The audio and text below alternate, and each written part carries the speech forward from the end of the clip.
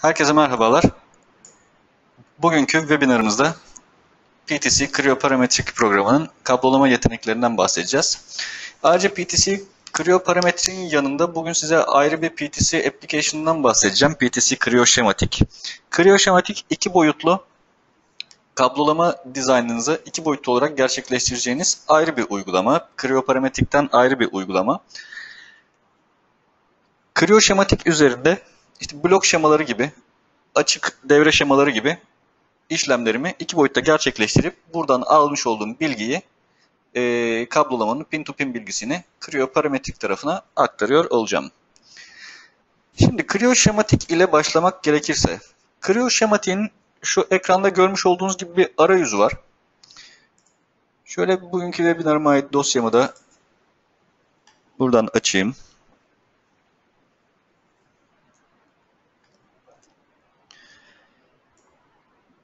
Kriyoşematik içerisinde yer alan Design Explorer'da farklı kategorilere ait diyagramların bulunmakta.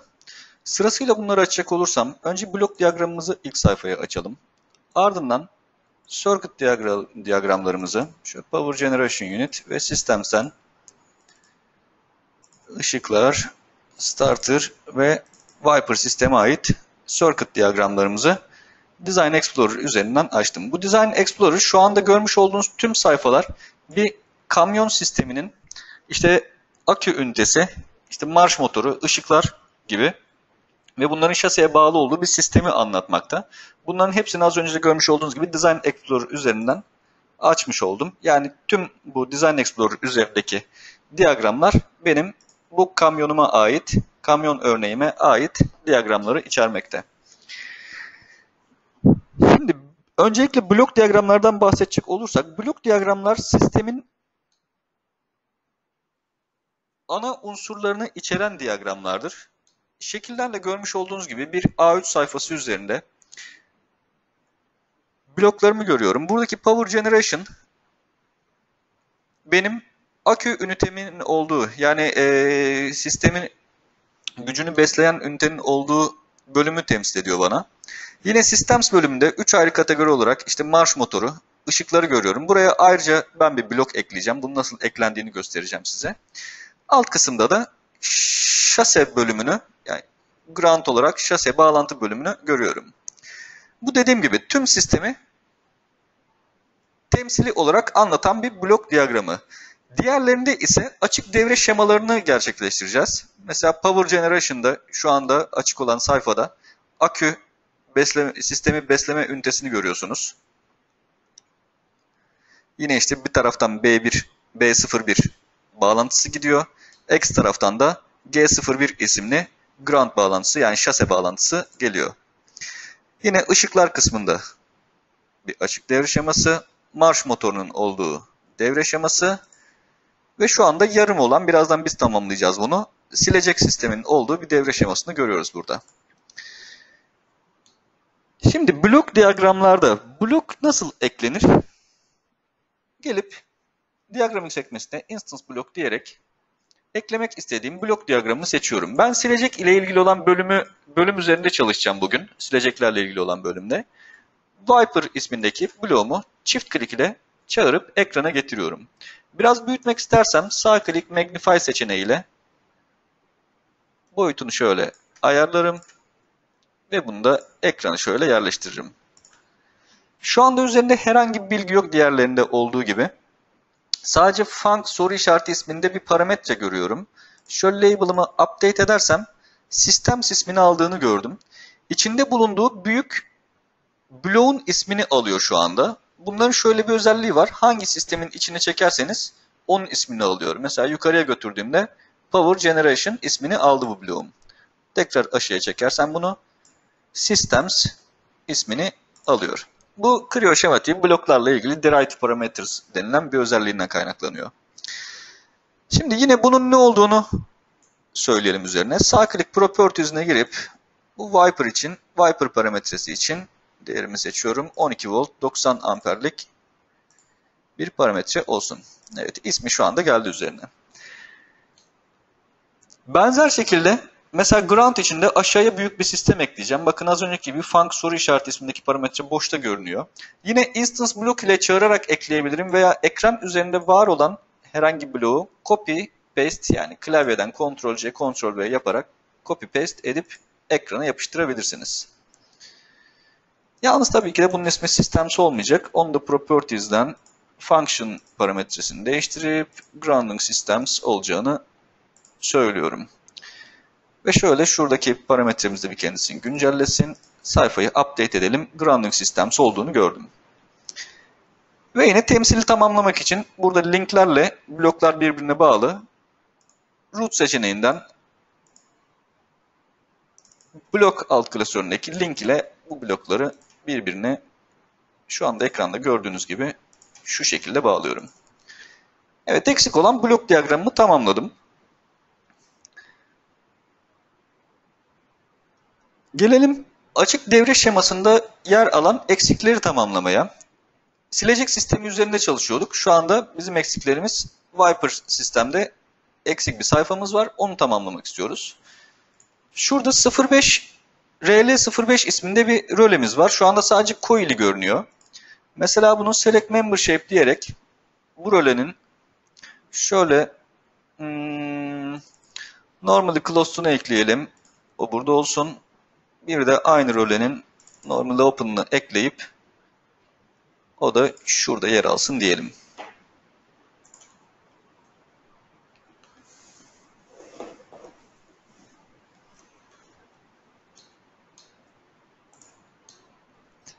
Bu eklemeleri yaptıktan sonra role 05 hangi koordinat sistemi üzerindeyse şu anda diğer sayfalara göre 13C koordinat sisteminde. O yüzden eklemiş olduğum normally close ve normally open parçaları da şu anda 13C koordinatlarını bana otomatik olarak ekranda gösteriyor. Bunu şöyle biraz yukarıya taşıyabilirim. Ayrıca gelelim. Yine bu role elemanlarının grup shape'lerini ekleyelim. Çünkü bunun bir normal open bir de normally closed'u var. Onu da şöyle ekledim. Bu da burada bakın normally open'ı 10 ve 5 sistemlerine bağlı 13C'deki. Yine 14B'de normal open var 13 ve 2 portları var üzerinde. Bunları bana temsil olarak söylüyor. Eğer bir tanesini kaldırırsam buradan yine bu shape de kendisini güncelleyecektir. Görmüş olduğunuz gibi. Tekrar geri alalım işlemi.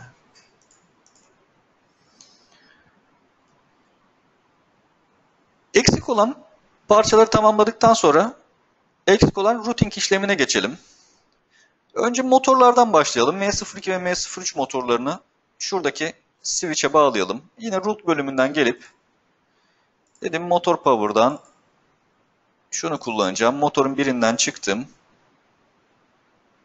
Şuradan gelsin ve bunun 3 numaralı portuna girsin.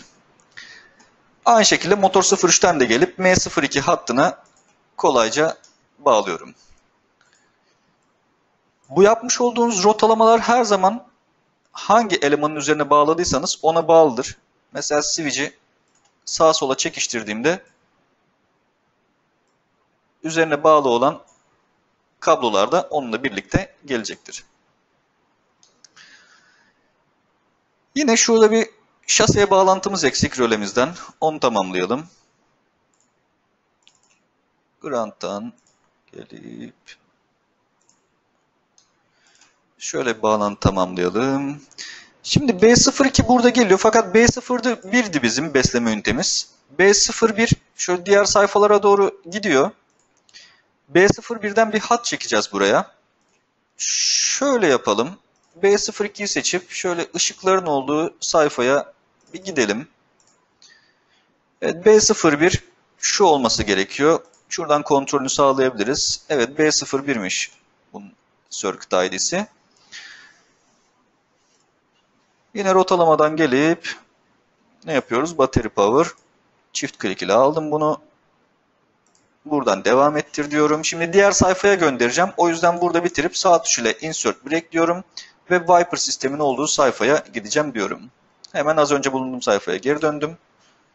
B01 hattımı bu şekilde getirip terminate diyerek burada bitirdim. Bakın diğer sayfadan bir B01 hattını bu sayfaya çekmiş oldum. Ve şuradan da B01'e bir besleme alalım. Geriye 05 rölesi ile sigortanın bağlantısı kaldı. Onu da root diyerek şöyle switch power'dan çift klik ile şu şekilde tamamlamış oldum. Onun da şöyle label'ını kenara çekelim. Biraz daha görünür olsun. Açık devre şemalarını da bu şekilde tamamlamış oldum. Şimdi esas kablolamayı göstereceğim wiring diyagramı oluşturmam gerekiyor. Circuit diyagramları ben zaten oluşturdum burada. Eğer circuit diyagramları oluşturduysam wiring diyagramını oluşturmam çok daha kolay. Ha peki bir wiring diyagramı için circuit diyagramı oluşturmanız şart mı? Hayır tabii ki de şart değil. Direkt olarak wiring diyagramını da oluşturabilirsiniz. Yani bu şekilde bir sıralama yok. Önce blok diyagramını oluşturayım, sonra circuit diyagramı veya sonra wiring diyagramı oluşturayım şeklinde bir sıralama yok. Direkt olarak wiring diyagramı sizin ihtiyacınız ise wiring diyagramını da burada oluşturabilirsiniz. Bu örnek biraz daha detaylı olduğu için, biraz daha sistematik olduğu için burada en başta söylediğimiz gibi sistemi temsili olarak bir blok diyagramı oluşturulmuş. Ardından açık devre şemaları oluşturulmuş. Şimdi biz Viper sistem üzerinden gittiğimiz için Viper sistemin wiring diyagramını oluşturacağız. Bunun için de en başta bu diyagramları açmış olduğum bir Design Explorer'ım vardı. Design Explorer'ıma geri dönüp Design bölümünden bir new folder diyorum. Buraya wiring diagrams isminde sayfa açtım. Bunun da içerisine bir sheet ekleyelim. Wiring diyagram Viper sistem olsun. Bunun bir wiring diyagram olduğunu tip olarak söylüyorum. Ve çift klik ile boş sayfamı açıyorum. Şimdi bizim burada Kolaylıkla faydalanabileceğimiz bir şey var. Dedik ya az önce circuit diyagramlarımız şu anda hazır. Biz direkt olarak wiring diyagramı oluşturacağız. O yüzden şematiğin özelliği olan CID to VID yani circuit diyagramdan wiring diyagrama geçiş tool'unu kullanıyorum burada. Komponentleri yerleştir diyeceğim. Şimdi bakın ışıklar işte power generation sistemi veya marş motor sistemi gibi birçok bölüm var burada. Onlarla işimiz yok. Şöyle sheetlere göre sıralayalım bunu. Bizim işimiz Viper sistemdeki elemanların wiring sembollerini buraya eklemek. Mesela hangisinden başlayalım? Şöyle Viper sistemi gördüm. Sigortadan F01'den başlayalım. Gelip Place Another Shape diyorum buradan. Sigortamın pinleri sağda yer alıyor. Sağda bakmasın. Yerleştirme sırasında aşağıya baksın diyebilirim. Turn right şeklinde şöyle bir yerleştirme yapabilirim burada. G2 ekle dedim bunu. Bizim şase bağlantımız. Sayfanın alt köşesine yerleştireyim bunu. Şöyle eğer bu kısmı update edersem yerleştirilmiş olanları tekrar görmeyeceğim bu bölümde. Bakın F01 ve G01 yerleştirdiğim için onları görmüyorum artık. M01 yerleştirelim. Motorlar sırasıyla burada olsun. MF01, M02 ve M03. Şöyle bir update yaptım. Rölemiz ve switch'imiz kaldı. Rölemizi şöyle alt kısma yerleştirelim. Burada olsun. Switch'imizi de sayfamın sağına yerleştireceğim. Yine pinler sağ tarafa değil de şöyle vertical eksende mirror yap dediğim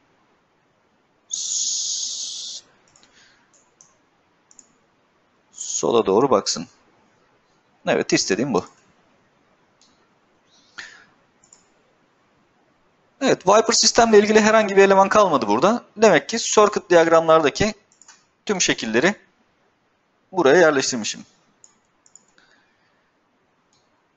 Bakın burada circuit diyagramla ve wiring diyagramda birbirine ait farklı gösterimler olabilir. Mesela motorları burada yuvarlak sembollerle gösterirken wiring diyagramda kare sembollerle gösterebilirim.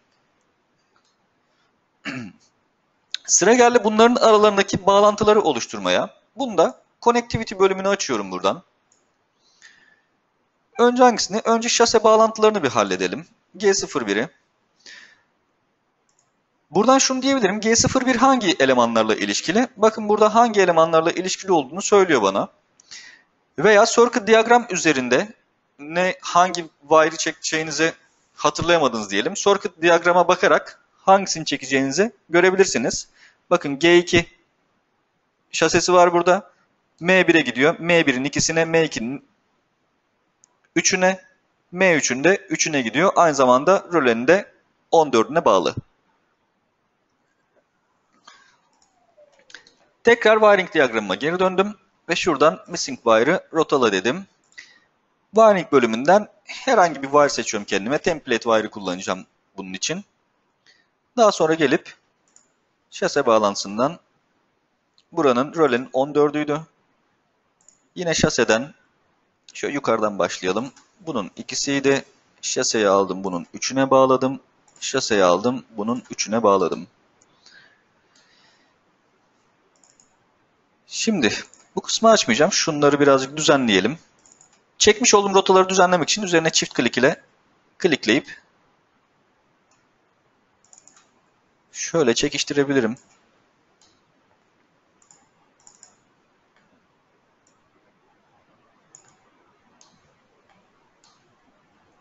Burası böyle. Bakayım bunu yukarıdan bağlayabilir miyiz? Yukarısı için izin vermedi.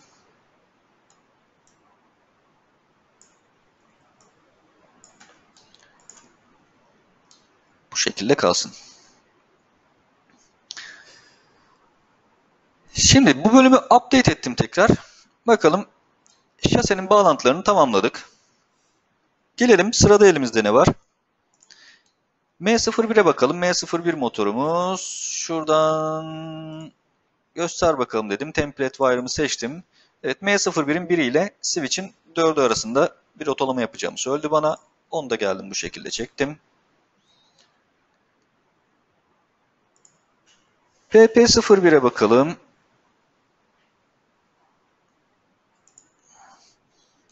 Hmm, PP01 Şimdi burada sigorta işin içinde, M2 motor, M3 motor ve switch işin içerisinde. O zaman önce bir circuit diyagramdan bir bakalım.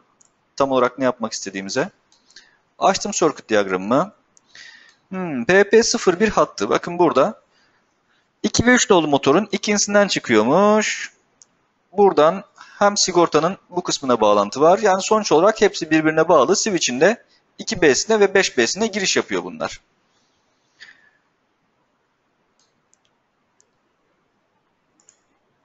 Geri döndüm tekrar diyagramıma. O zaman şu şekilde gerçekleştirelim. Template wire'ımı seçtim. Buradaki 4'ten çıkalım.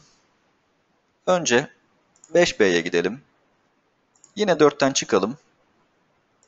2B'ye gidelim. Motordan çıkalım. Şöyle 2B'ye gidelim. Fark etmeyecektir zaten. Yine motordan çıktık. 5B'ye gittik. Şöyle update yaptım. Evet PP01'de hallettik. Şu hatları bir düzenleyeyim.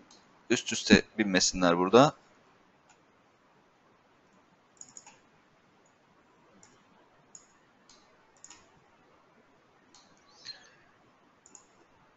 Switch'e sıra geldi. Şöyle bir baktım. Template wire'ımı seçtim.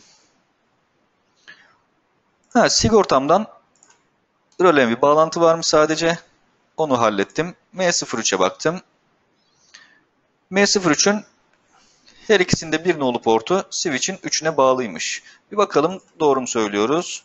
Her ikisinde bir nolu portu aynen. Bunu az önce biz gerçekleştirmiştik zaten bu hattın çekimini. O zaman yine template wire'ımla onu da buradan 3 numaralı porta giriş yapıyorum. Onları da şöyle düzenleyelim.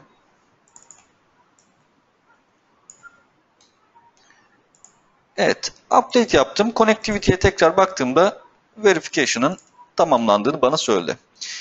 Eğer rotalamaların üzerinde üst üste binme varsa onlarla ilgili şöyle atlama ekleyebilirsiniz. Atlamanızı ister boşluk olarak veya üstten atlama olarak artık dikey veya yatay şekilde nasıl tercih ediyorsanız bunları ayarlayabilirsiniz. Şöyle et dediğimde kablolar üzerindeki atlamaları bu şekilde ekleyebilirsiniz. Şimdi rotalama işlemini tamamladık. Gelelim diğer işlemlerimize. Burada kullandığınız kablolar için kabloların özelliklerini tanımlayabilirsiniz. Mesela nedir? Benim burada şaseden çıkan kablolarımın 4 tanesinde Properties'ine girdim. İşte bunların minimum band transistörü olabilir, renkleri olabilir. İşte hangi kablo bobininden kullanıyorsa bu bobine ait başka e, özellikler olabilir. Bunlarla ilgili tek tek tanımlamaktansa şematik içerisinde dataset denen yapılar var. Dataset kullanacağım bunun için. Mesela yeşil renki aratıyorum. Green'de 16 Green SXL datasetini kullanıyorum. Ne bilgiler var içerisinde? İşte minimum band radyosu, wire gauge'i, işte thickness'ı, rengi gibi bilgileri görüyorum üzerinde. OK diyerek o bilgileri almasını, bu 4 adet kablonun bu bilgileri almasını sağladım.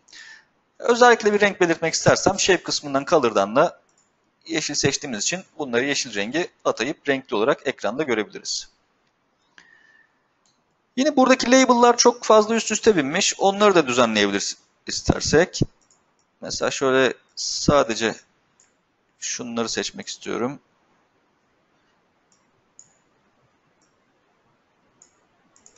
Şöyle kenara alabilirim onları. Bakın yine burada da label'ları daha kablonun ortasına doğru çekebilirim. Şimdi şurada yıldız görüyorum bunlar. Pinlere bu kabloları bu pinlere bağladığımız için buradaki isimleri alması gerekiyor. Aynı şuradaki gibi. Şu anda sayfayı bir update etmem gerekiyor yalnızca.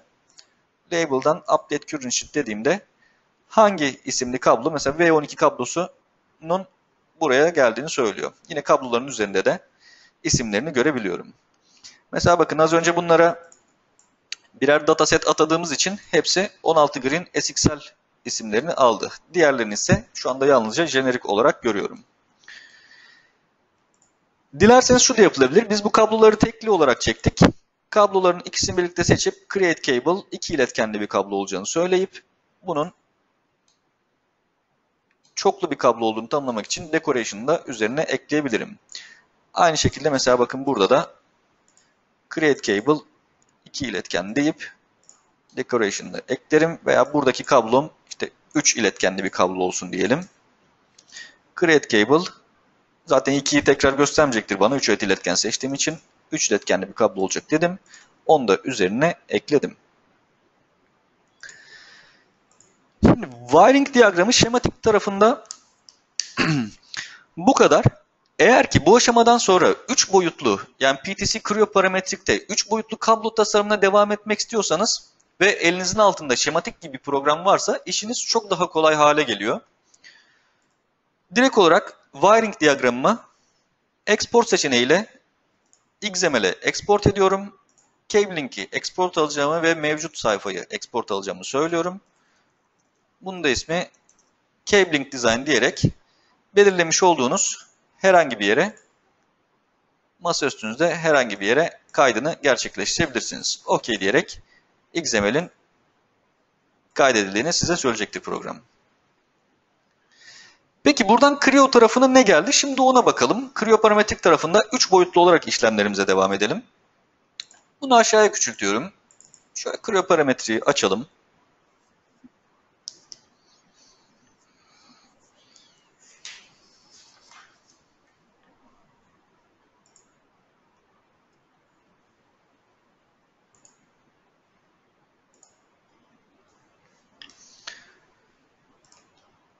Şöyle dizaynımızı açalım. Evet, bir kamyon olduğunu söylemiştik. Kamyonun sadece ihtiyacımız olan bölümlerini şu anda açtık. Ekranımıza geldi. Şöyle gösterelim. Az önce bazı işte marş motorundan aküden bahsettik.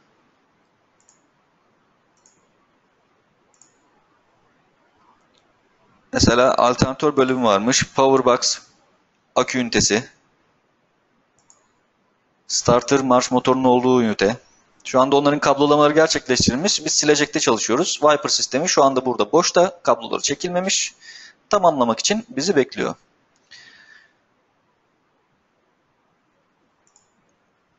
Şöyle Viper'ı ayrı bir pencerede açalım.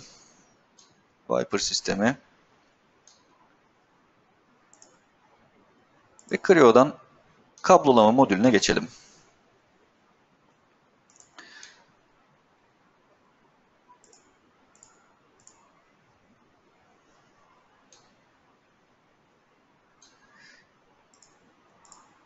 Ayarlarımızı bir şöyle 2 dakika değiştirelim şuradan.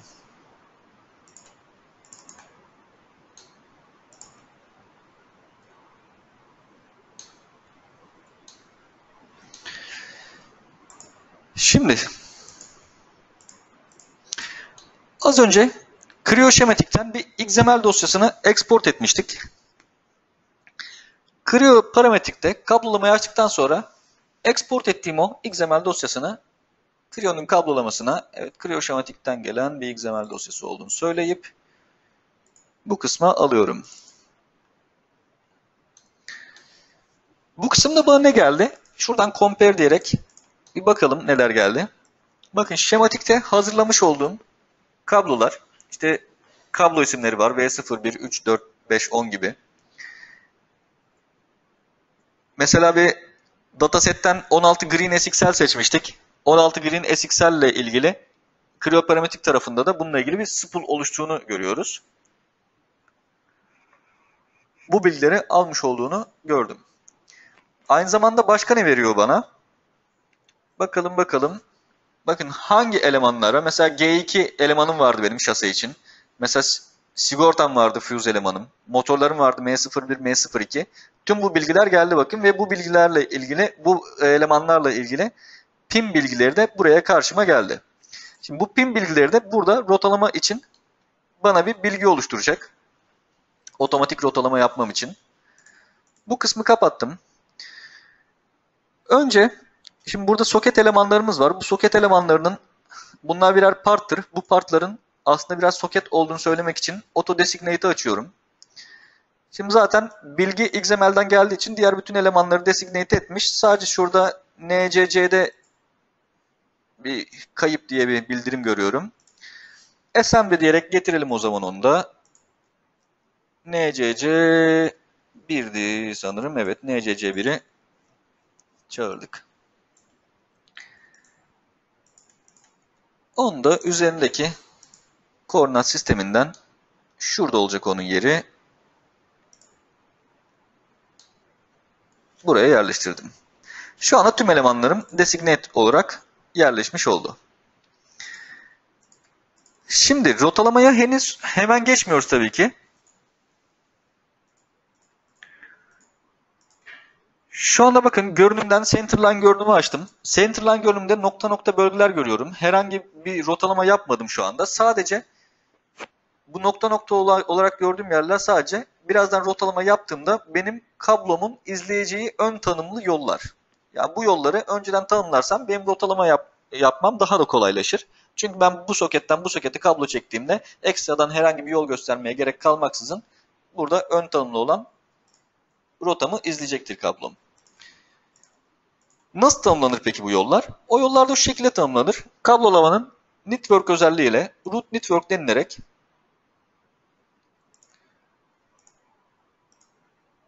root network denilerek en uçtaki nokta burası. Bu noktadan ilave olarak 1, 2 dedim. Buraya 2 nokta daha ekledim. Eksisi kullanıp bakın görmüş olduğunuz gibi ön tanımlı rotamı, network'ümü buraya kadar uzattım. Mesela başka nasıl ekleyelim? Bakın şurada şase için kullanacağım bir elemanım var.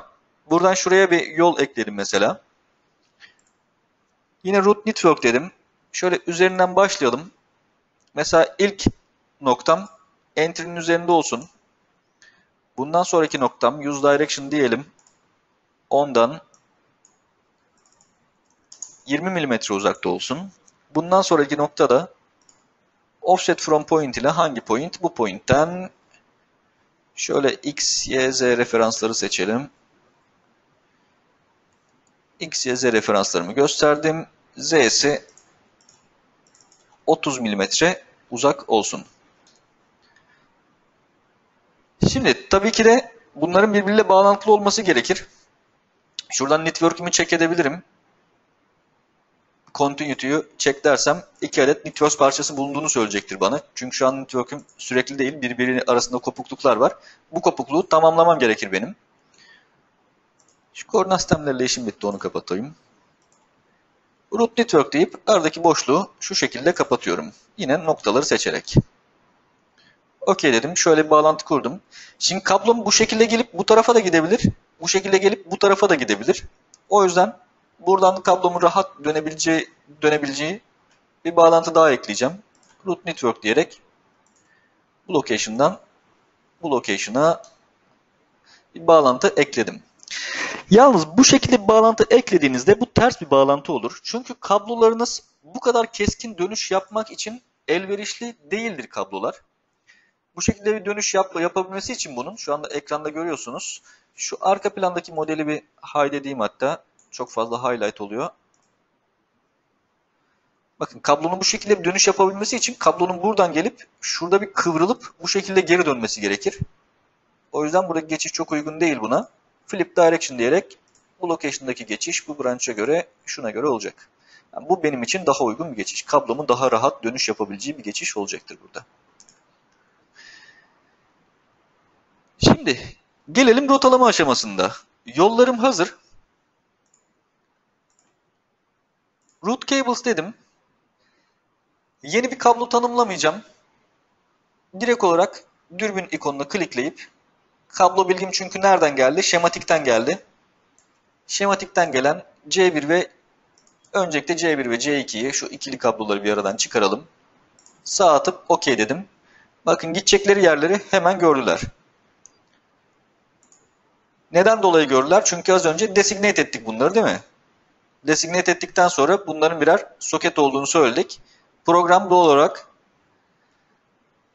XML'den gelen komponent bilgisiyle çünkü bunların isimleri burada M01, M03 ve M02, G2 değil mi? Bunların isimleri şematik tarafında da aynı. M01, M02, M03. Bu isimleri eşleştirip pin bilgilerini, pin to pin bilgilerini, pin to pin bilgisini nereden alıyor? Şematikteki şu kablolar, bakın buradaki mesela motorun bir numaralı pinine bağlı, motorun iki numaralı pinine bağlı. O pin bilgisi neyse onu kullanarak rotalamayı gerçekleştiriyor burada. O yüzden de dedik ki eğer elinizin altında şematik gibi bir uygulama varsa, Clio şematik gibi bununla kablolama dizaynı yapmanız çok daha kolay hale gelecektir. C1 ve C2 kullanacağım dedim. OK dedim direkt olarak o nereden nereye gideceğini biliyor. Tekrardan bana buradan pin seçmeme gerek bırakmıyor. Ha manuel olarak yapılabilir mi? Elimde şematik olmazsa ne olacak? Onu da ayrı bir örnekte webinarımızın sonunda göstereceğiz. O da e, şematik zorunlu değil bu noktada. Yani şematik kullanmayabilirsiniz. Tüm rotalama işlemini burada gerçekleştirebilirsiniz. O da benim için bir kısıtlama değil. C1 ve C2'ye apply direkt şöyle çekelim. Şuradan bir renk kütüphanemi de ben tanıtayım. Kablo renklerim gelmesi için.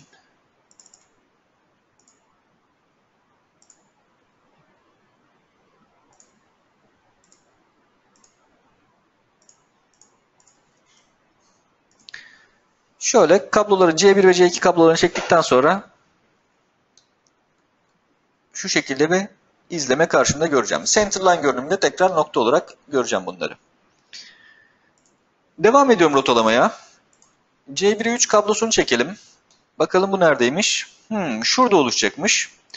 Yalnız buradaki network geçişinde bir sıkıntı var bakın. Havadan gidiyor. Ön izlemeyi havadan veriyor. O yüzden bunun sebebi şu olabilir. Network'üm çünkü burada bakın sola gidiyor. Sağa dönüş yapması için burada güzel bir dönüş yok burada. Onu istiyor benden. Hiç burayı kapatmadan root network deyip o ara kısmı şöyle tamamlıyorum. Evet bakın tamamladığım gibi zaten kablom hemen network'ü izlemeye koyuldu. Veya şu da yapılabilir. İşte kabloyu izle diyebilirsiniz. Follow cable seçeneğiyle işte bu kabloyu izleyeceğim. Bu location'dan şuradaki location point'ine kadar kabloyu izleyeceğim de denilebilir burada. Buna da apply dedim. Sıra geldi diğerlerini getirmeye. Bakalım neler var. Şu label'ları da kapatayım şurada bir çok engel oluyor bana. Evet, Şurada küçük küçük soketlere ground'a bağlı olan kablolarım var. Onların da hepsini beraber getirip follow cable yapma, network'ümü izle dedim.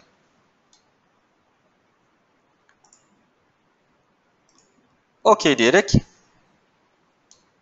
kablolama işlemini tamamladım bakın. Şimdi yalnız bu kablolar bu şekilde dağınık durmasın. Bunları birer kılıf içerisine alalım. Yalnız kılıf içerisine almadan önce şurada havadan gelen kablolarım var. Onları yeni location point'ler belirleyelim. Bu şuradan dönsün. Şurada bir yeşil kablom var. İki kola ayrılmasın. O da şuradaki location'dan dönsün. Onları hallettikten sonra gelelim kılıf içerisine alma işlemine. Bundle oluşturuyorum. B1 ismini verdim. Round olarak oluşsun. Along path boyunca dedim ki buradan şu uca kadar bunları kılıf içerisine alacağım. Evet hepsi dahil. Network'ü dahil etmeyeceğim. Dan dedim. Dan dedim. Şöyle baktım. Evet hepsini şu anda bir kılıf içerisine aldım.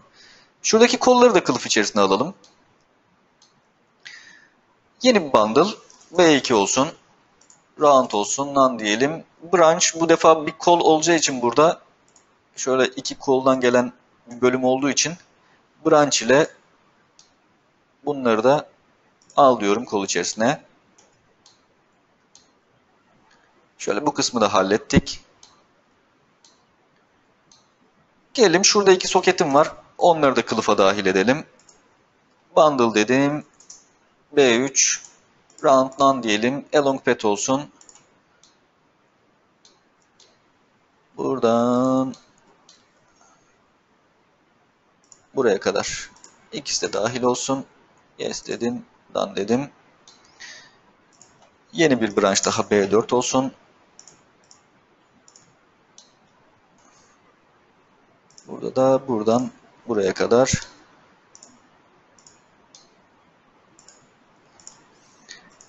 Onları da kılıf içerisine aldık. Evet. Kablo dizaynımız 3 boyutlu olarak kablo dizaynımız şu aşamaya kadar tamam. Şimdi bu aşama bittikten sonra sıra geldi bu kablonun board açınımını almaya. İşte piyasada çivili tahta açınımı olarak geçiyor veya board açınımı yani imalata yönelik kablo demetinin açınımını almaya sıra geldi. Yeni bir manufacturing dosyası oluşturuyorum. Şöyle harness diyelim. Flat harness olsun ismi. Şimdi biz Viper harness partını kullandık. Onu kullanacağımı söylüyorum master rep'te. Diyelim ki flat Drawing için ayrıca bir assembly ismi, ismi istiyor benden. Hatta onu ayırt etmek için for draw diye bir isim verelim ona. OK diyelim. Şimdi açılım bölümünde bana 3 boyutlu dizaynımı yanda küçük pencerede gösteriyor şekilde. Ucunda soketleri yok şu anda. Ve arka planda bulunan boş pencerede de herhangi bir şey görünmüyor. Yapmam gereken şu. Kendime bir location noktası belirliyorum. Mesela neredeki location noktası olabilir? Şuradakini kullanabiliriz mesela. Flatten layout set start point diyerek start point'im şu nokta diyorum. Otofan ile minimum band radyusum 12 olacak şekilde kablo dizaynımı aç dedim. Bakın kablo dizaynına iki boyutlu olarak açılımını gerçekleştirdi. Şöyle bir dik görünüş alalım buna. Başka yapmam gerekenler ne? Komponentleri ekleyelim. Compens bölümünden assembly all dedim. Bakın soketler geldi uçlarına. Soketler geldi. Yalnız röle için şurada tamamı geldi. Şunu bir disassembly yapalım önce. Dan diyelim. Assembly ile onu tekrar parent'ı getirmeyeceğim. Sadece küçük olanını getireceğim. Dan dedim. Assembly dedim. Bu kısma da küçük mavi olanı ayarladık. Tekrar view normal ile şöyle fronttan bakalım.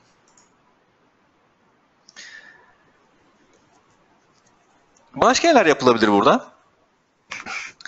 Mesela uzun bir dizayn sizin için Ara kısımlara break atabilirsiniz. Tıpkı işte mekanik teknik resimlerde millere atılan break gibi, aradan koparma işlemi gibi. Buradan break atabilirsiniz. Veya bükebilirsiniz. Mesela şuraya bir bent ekleyelim. Bent diyelim, insert diyerek şu kısımdan radius 10 ile 90 derece bük dedim. Yukarıya doğru çevirdim açılımını. Burada dallanmış, budaklanmış bölümleri görüyorum. Move segment ile bunları oynatabilirim bakın. İstediğim açılarda, görmek istediğim açılarda. Veya sadece elle değil de modify seçeneğiyle şöyle yapabilirsiniz. Bakın üzerlerine klikleyip ölçüleri karşıma gelecektir. Bu 90 derece olsun. 90 derece olsun. 90 derece olsun. Burası da 0 derece olsun. Regenerate deyip otomatik dedim. Hepsi girmiş olduğum ölçülerde karşıma geldi. Şu kısma da bir çeki düzen verelim. Evet, açılım işlemi benim için şu anda bu kadar. Sıra geldi bunu dokümente etmeye, teknik resme aktarmaya, teknik resimdeki ölçülerini vermeye. New Drawing diyorum. Hmm. Viper Harness olsun ismi. Harness Design olsun. Bunu kullanmayacağım. Flat Harness ASM'yi kullanacağım bunun için.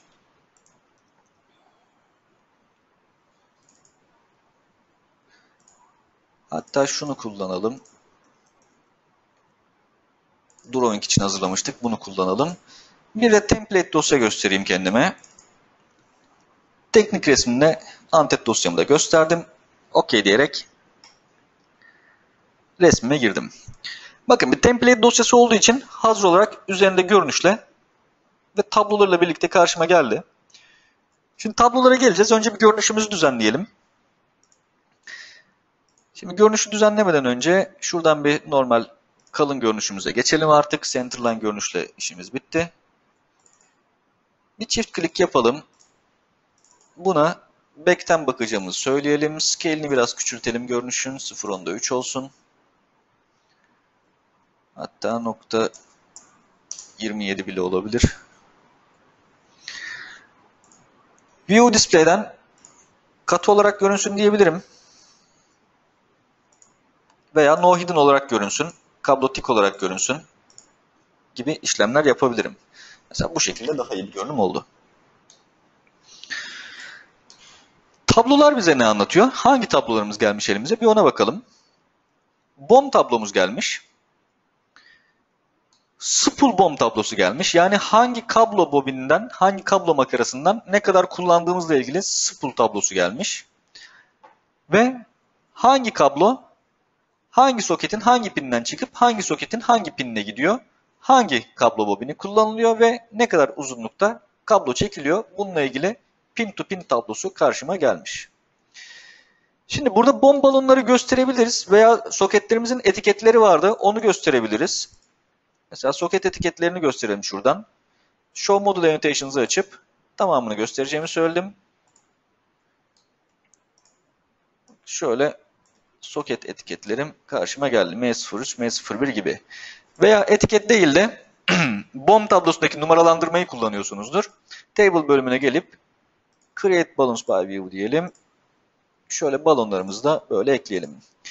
Biraz dağınık geldi balonlarımız. Onları şimdilik şöyle kenarlara çekiştirelim.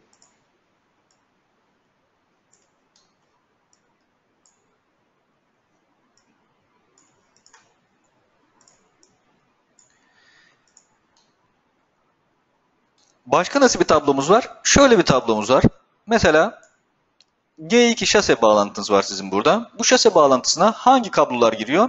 Bunu göstermek istiyorsunuz bu tabloda. Repeat Region'ı açıp Model Rep'ten başlığım diyorum bu. Komponentim bu. OK dedim. G2 başlığında yani G2 parçasında. Yine Model Rep'ten alt kısmı açalım elemanı seçip OK diyelim. Bakın G2 şase bağlantısına 16 Green SXL'li V1, V2, V4, V5 kabloları giriş yapıyormuş. Bununla ilgili bilgiyi de elde etmiş olduk. Diyelim ki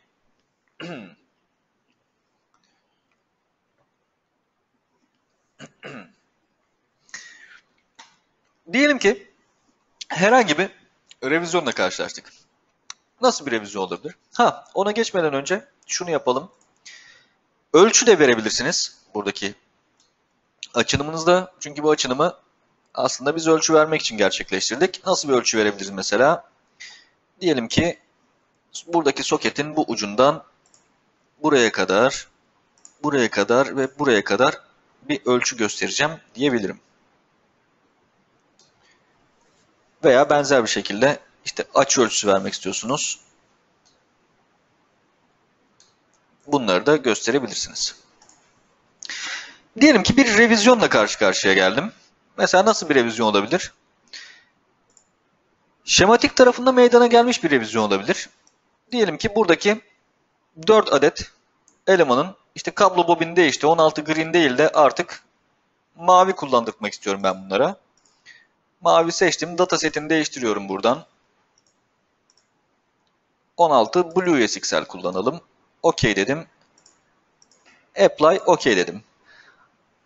Ardından bunu tekrar export edip XML'e export ederim.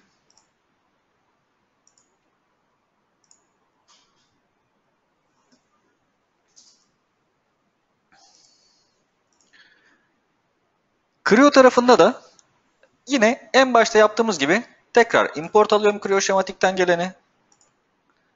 Şematik 2 XML olarak import aldım. Baktım tekrar compare ederek bir karşılaştırdım. Farklılık var mı diye. Şöyle aşağıya doğru inceledim. Şöyle birbirini görmeyen bazı pinler var. Onları update edeceğiz. Mesela bakın referans data 16 Green SXL artık referans datada yok. Design datada şu anda kullanılıyor. 16 Green SXL fakat referans data üzerinde yok. O zaman bir update gerçekleştirelim. Bakalım o yeşilleri zaten şuradaki bobin kullanıyordu. Tamamını update edelim. Bir de regenerate edelim. Bakın az önce yeşil olan kablolarım şu anda mavi renge dönüştü. 16 Green SXL boşa çıktı artık. Bakalım tablolarımızda bir değişiklik oldu mu? Sayfamızı da şöyle update edelim.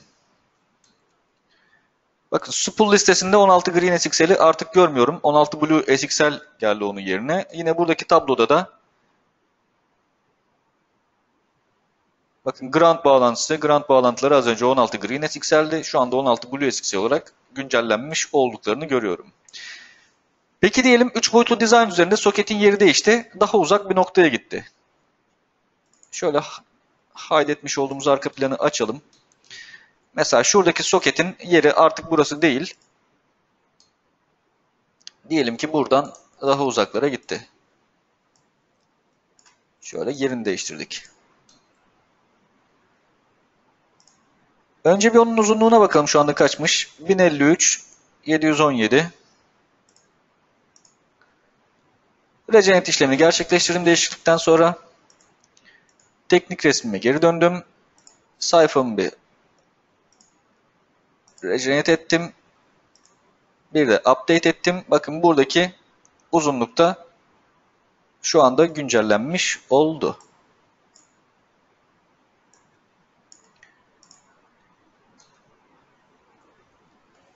Evet, Creo şematikte. İki boyutlu olarak başlayıp tamamladığımız kablolama dizaynını. PTC Creo parametrik tarafına. 3 boyutlu dizaynı tamamlamak üzere XML dosyasını import aldık ve burada 3 boyutlumuzu tasarımımız 3 boyutlu tasarımımızı tamamlayıp kablo açılımını gerçekleştirdikten sonra bunu da teknik resmine sayfamıza yerleştirdik. Teknik resim sayfamıza yerleştirmiş olduk. Creo parametrikte geleceğimiz son nokta burasıdır. Görmüş olduğunuz gibi imalata yönelik teknik resmin oluşturulması ve bununla ilgili pin to pin bilgilerinin, spool bilgilerinin, BOM listelerinin ve soket bağlantı bilgilerinin oluşturulması olacaktır. Peki şunundan bahsetmiştik. Elimizin altında işte Creo şematik yok ise yani Creo parametrik tarafında bir dizayn yapacaksak bununla ilgili ne yapmamız gerekiyor? Onu da şöyle bir örnekle detaylandıralım o zaman. Mesela bir şarj ünitesi açalım. İçi boş bir şarj ünitesi.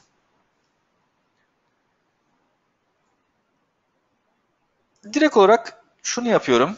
Öncelikle soketlerimi bir bunun üzerine yerleştireyim. Mesela bir tane soket buraya yerleştireyim.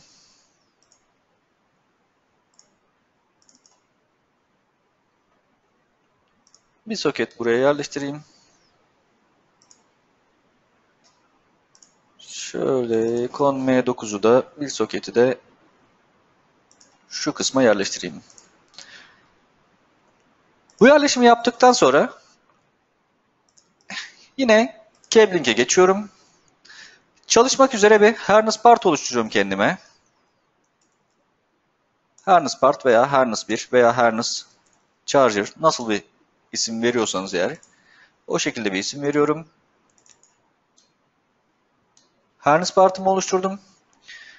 Ardından şimdi biz auto designate yapmıştık. En başta yaptığımız işlemleri özetleyelim. Import ile şematikten import almıştık XML dosyasını. Burada şu anda öyle şekilde bir şansımız yok. Elimizin altında hiç şematik olmadığını e, varsayalım ki diye başlamıştık söze. O zaman auto designate ile değil, designate ile devam edeceğim burada. Yani manuel designate edeceğim ben bunları. Designate işlemiyle bunların birer soket olduğunu programa söyleyeceğim. Portlarını gösterip bu giriş portunda 0 mm girişimle round dedim, done dedim, done dedim. Aynı şekilde diğer soketleri de designate diyerek entry portları bunun üzerindeki. Bakın az önce bunlarla uğraşmamıştık çünkü XML'den otomatik almıştı bu bilgileri.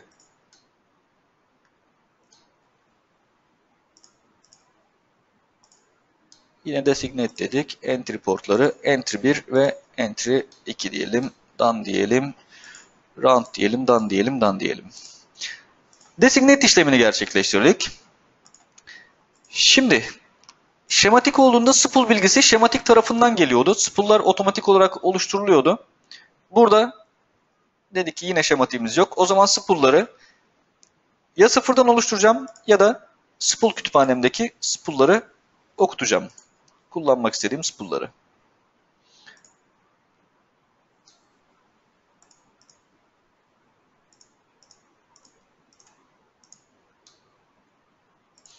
Spool'ları da getirdikten sonra kablolama işlemini şu şekilde gerçekleştiriyorum. Root cables, bakın network'üm de yok. Network çekerek üzerinden de geçirebilirim kabloları az önce gerçekleştirdiğimiz gibi.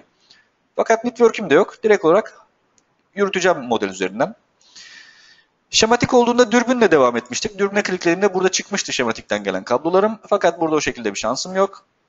Yeni bir wire ekleyeceğimi söyledim. Ekleyeceğim wire'ın özelliği işte 14 turuncu spool'u kullanacağım diyelim. Buradan nereye gitsin? İşte buradaki entry 2'ye gitsin mesela. Apply dedim. Bakın kablomu çekti. V2 işte ne olsun? 16 blue olsun. Buradaki enter'den buradaki entry 1'e gelsin. Hatta bir tane daha ekleyelim. Gri değil. 16 green olsun bu da. Renkli gidelim. Buradan buradaki entry 2'ye gitsin gibi. Okey dedim. 3 adet kabloyu çektim. Şu anda bunlar havadan havaya gidiyor. Modelin içerisinden geçiriyor. Yollarını düzenlemem gerekiyor. Yolları düzenlerken de yine yapacağım şey bunlara location eklemek. Insert location seçeneğiyle model üzerine klikleyip kabloyu yürütmek istediğim yerden geçiriyorum. Location'ları düzenleyebilirsiniz. Yerlerini sağa sola çekiştirebilirsiniz. Yani beğenmediğiniz bir yerden geçtiyse eğer kablonuz farklı noktalara çekiştirebilirsiniz. Veya diyelim ki diğer kablo bunu takip etsin istiyorsunuz. Reroute seçeneğiyle dersiniz ki bu noktadan bu noktaya kadar takip etsin. Şuradaki noktada bir sıkıntı var sanki. Evet bu noktadan bu noktaya kadar takip etsin dedim. OK diyerek o işlemi de gerçekleştirdim. Manuel olarak yapacağınız rotalamanın tek farkı bunlar. Ekstra olarak ne yaptım burada? Az öncekinde otomatik gerçekleştirildi bu işlemler. Burada ise manuel gerçekleştirdim. Birincisi designate ile soketlerimi designate ettim. Bunların biraz soket olduğunu söyledim.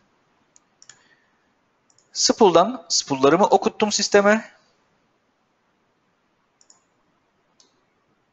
Ardından rotalamaya geçtiğimde de kablolarıma hangi porttan çıktığını gösterip, gösterip hangi soketin hangi portundan hangi pininden çıktığını göstererek rotalama işlemini tamamladım. Veya burada mesela bakın bu uzun bir soket. Bunu değiştirelim. Cabling parametreden bu sokete girelim. Orası yuvarlak bir giriş değil çünkü düz bir giriş. Entry portu onun. Round şeklinde bir giriş değil. Flat şeklinde bir giriş olacak. Şöyle regenerate edersem kablolarım yan yana sıralanacaktır. Veya bakalım onların sıralamasını değiştirebilir miyiz? Turuncu en sağa gitsin istiyorum. Turuncu olan V1 kablom. Onu buradan keselim. V3'ün paste after diyelim. Apply diyelim. OK diyelim. Şeklinde sıralamasını da değiştirdik. Ayrıca başka değişiklikler de yapılabilir o sıralama üzerinde.